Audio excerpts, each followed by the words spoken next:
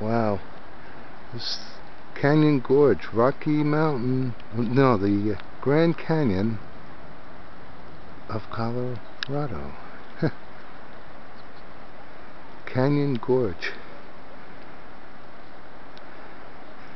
And the suspension bridge. Phew. Sure is deep down there. Can't see at all, otherwise it would be a little too dangerous to walk on the edge. That's about it.